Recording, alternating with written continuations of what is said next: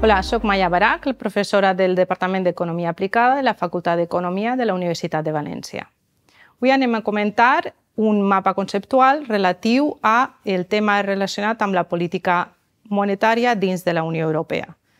És un mapa conceptual que explica d'una manera breu i concisa eh, les diferents polítiques que s'adopten dins de la gran recessió.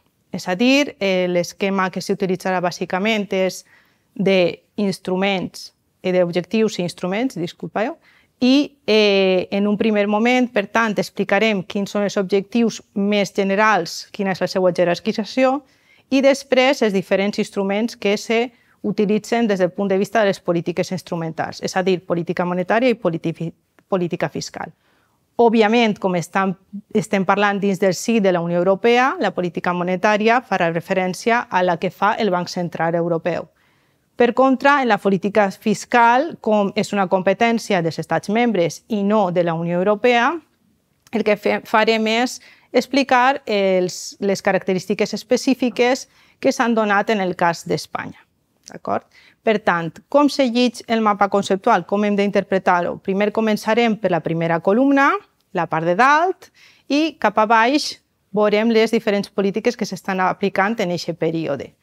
És a dir, n'hi ha una primera columna que explica els antecedents, és a dir, què està passant, quin és el context en el qual comencem a tindre eh, aquesta crisi, quins són els problemes que estan, els, eh, els eh, problemes que s'estan acumulant i que, per tant, van a fomentar la, la, el desenvolupament negatiu de la crisi econòmica. I després, els diferents períodes no són diferents crisis explícitament, però sí que els hem donat un nom específic a cadascuna d'ells perquè d'alguna manera estan indicant-nos dins de la jerarquia dels diferents objectius de política econòmica quin serà el que més predominarà, el que més ens importarà a l'hora d'aplicar les diferents polítiques. D'acord?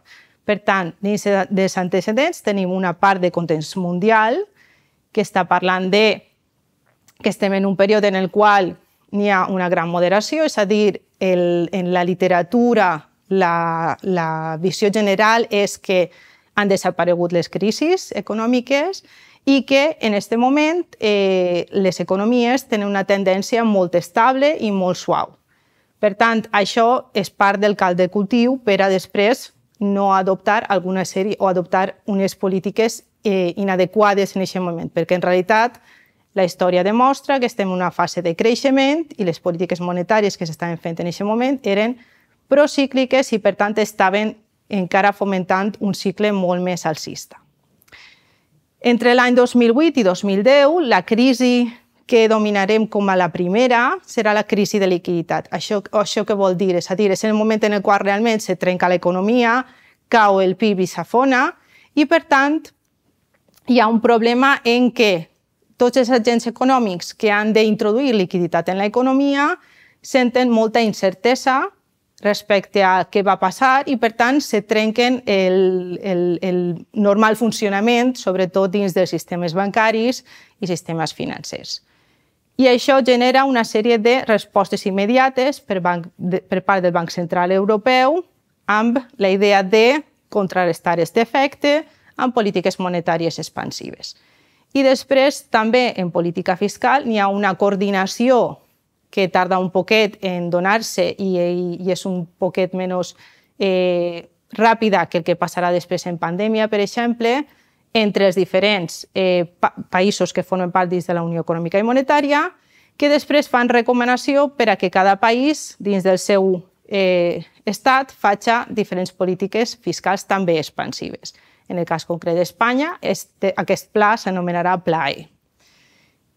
Este tipus de eh, polítiques que assumirem i com s'està desenvolupant l'economia, el que farà és generar tota una sèrie de problemes que passem a explicar en, el següent, en la següent columna i aquests problemes generaran que s'invertisca l'ordre jeràrquic dels objectius que anem a perseguir. És a dir, se disparen els deutes dèficits dels països arran de les polítiques fetes, de l'efecte dels estabilitzadors automàtics i dins d'una unió monetària on les polítiques fiscals són de caràcter nacional, però la política monetària és comuna, el tindre aquests dèficits molt elevats i que incompleixen el pacte d'estabilitat i creixement fan que passem a centrar-nos més en tractar de reduir aquests ràtios de dèficit i de deute, més que inclús en el cas de recuperar la política econòmica. Per tant, anomenarem aquesta part de la crisi com a crisi de deute. De fet, veurem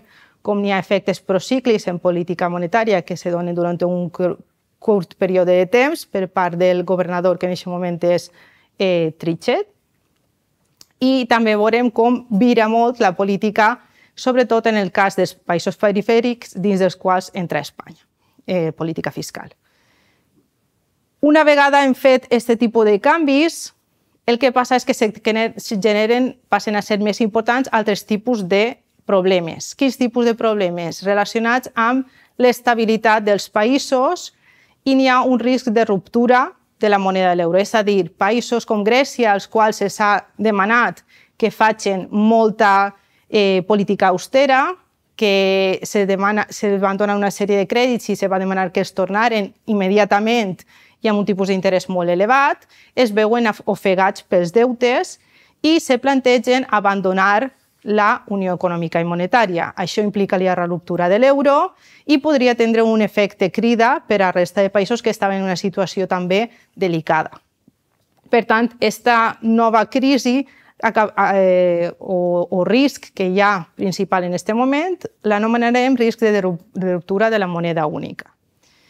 I, per últim, eh, conseqüència de tot el que s'està fent, l'última fase en el que entrem és un risc de deflació. Quan el PIB està caiguent molt, quan a més estem fent polítiques que el que fan és afectar negativament el seu creixement, per tant són procícliques des del punt de vista del cicle econòmic, al final el que passa és que eh, no aconseguim remuntar el creixement i els preus no paren de caure i tindre una deflació pot ser igual de perillós o més que una inflació, i més en el cas de que ja estem en una fase de de creixement econòmic. Per tant, aquesta passa a ser una nova, eh, un nou objectiu, reduir aquest risc, evitar-lo, caure en deflació i, per tant, se fan noves polítiques monetàries que ja són molt diferents de les que s'havien fins al moment perquè, que anomenarem no convencionals, perquè no s'havien portat a terme mai abans en el cas de la Unió Econòmica i Monetària.